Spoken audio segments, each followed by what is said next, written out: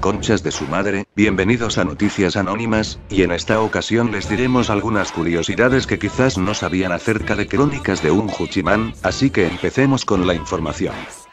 Número 1.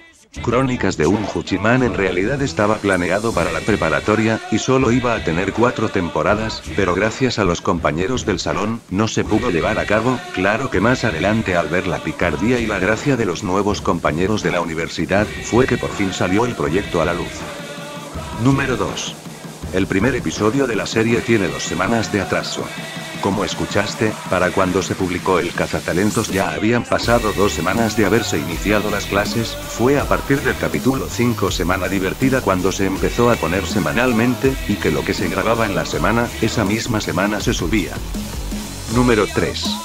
Al principio las crónicas se subirían los fines de semana, ya fuera sábado o domingo, luego se empezó a subir los lunes y finalmente a partir del capítulo 7 Pizza y Música fue que se decidió por subirse los domingos. Número 4. A partir del capítulo 6 Fiestas Patrias se empezó a consumir la pizza. Número 5. El intro de las crónicas, originalmente iba a ser usado para todos los blogs de Anti-Escarcha, y no para la serie. Número 6. La canción del intro es un remix de DJ From Mars, We Will Kill the Brent of Bangaran, un más sobre We Will Rock You the Queen, Killing in the Name the Radam, Grey de The Prodigy, y Bangaran de Skrillex. Número 7.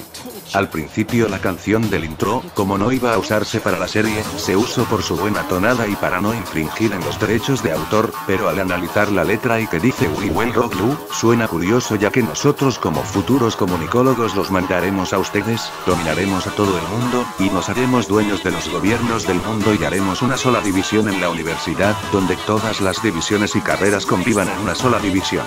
La GAU, División Académica Universal.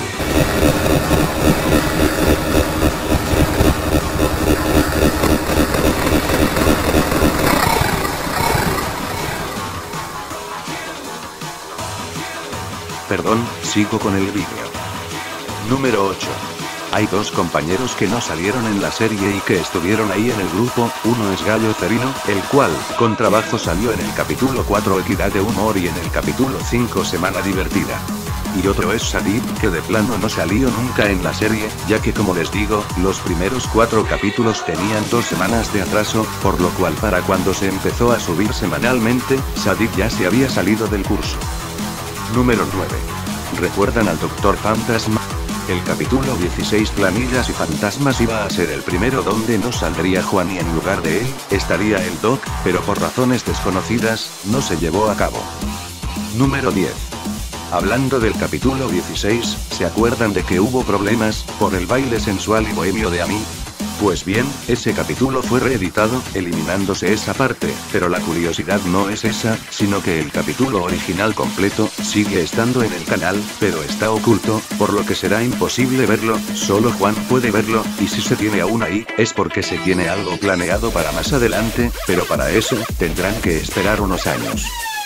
En fin, estas fueron algunas curiosidades sobre la serie que encontré, si después salen más como estos, se publicarán.